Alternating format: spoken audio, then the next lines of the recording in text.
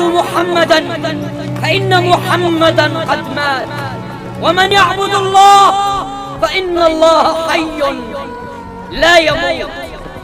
لقد ابتلى الله عز وجل رسوله صلى الله عليه وسلم وصحابة رسوله رضي الله عنهم بعدة ابتلاءات وذلك ليختبر الله عز وجل صبرهم وتمسكهم بالدين حتى تكون هذه الابتلاءات عظة من الله عز وجل ويتعظ منها الأجيال التي ستأتي بعد عهد الرسول صلى الله عليه وسلم وليس فقط الرسول والصحابة هم من ابتلاهم الله عز وجل.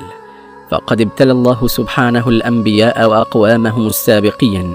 ولكن كيف ابتلى الله عز وجل الرسول والصحابة؟ وماذا حدث لرسول الله صلى الله عليه وسلم؟ في المدينة المنورة قبل هجرة رسول الله صلى الله عليه وسلم إليها تشتهر بالحمى. وقد لاقى الصحابة رضي الله عنهم منها عناء عقب هجرتهم وقد صرفها الله تعالى عن نبيه صلى الله عليه وسلم. فالرسول صلى الله عليه وسلم قد ذكر أن الحمى من فيح جهنم فأطفئوها بالماء.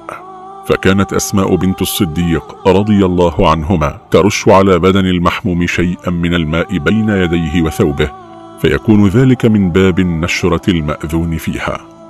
فالحمى عندما انتشرت إلى المدينة أصابت رسول الله صلى الله عليه وسلم.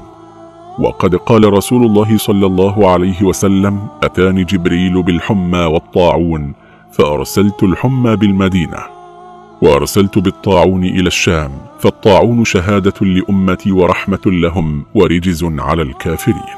فعن سلمان رضي الله عنه قال أتت الحمى النبي صلى الله عليه وسلم فاستأذنت عليه فأذن لها فقال من أنت قالت أم ملدم أبري اللحم وأمص الدم.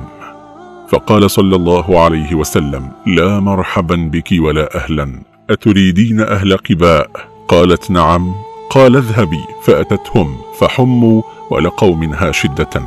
فجاءوا رسول الله صلى الله عليه وسلم قد اصفرت وجوههم فشكوا إليه الحمى. ولكن رسول الله صلى الله عليه وسلم قد أخبر المسلمين بأن الحمى هي ابتلاء ورحمة من الله تعالى حتى تكفر ذنوبنا. ولما ذكرت الحمى عند رسول الله صلى الله عليه وسلم فسبها رجل.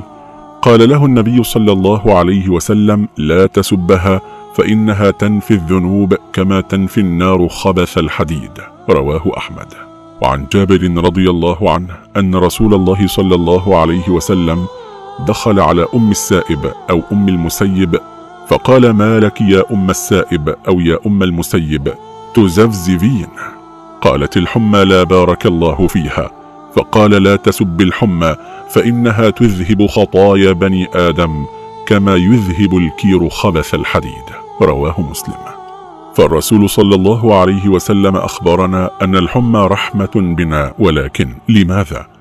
فقد اكتشف العلماء أن الحمى التي تصيب الإنسان لها عدة فوائد فقد ثبت أنه عند إصابة المريض بالحمى تزيد نسبة مادة الأنترفيرون لدرجة كبيرة وهذه المادة تفرزها خلايا الدم البيضاء وتستطيع القضاء على الفيروسات التي هاجمت الجسم وتكون أكثر قدرة على تكوين الأجسام المضادة الواقية فهي لا تخلص الجسم من الفيروسات والبكتيريا فحسب بل تزيد من مقاومة الجسم للأمراض وتساعد في القضاء على الخلايا السرطانية عند بدء تكوينها وبالتالي تحمي الجسم من ظهور أي خلايا سرطانية يمكن أن تؤدي إلى إصابته بمرض السرطان.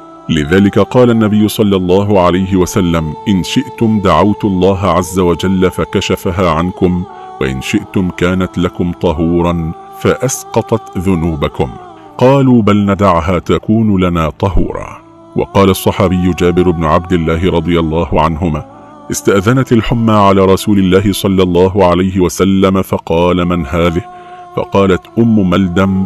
فأمرها لأهل قباء فلقوا ما لا يعلمه إلا الله فأتوه فشكوا ذلك إليه فقال ما شئتم؟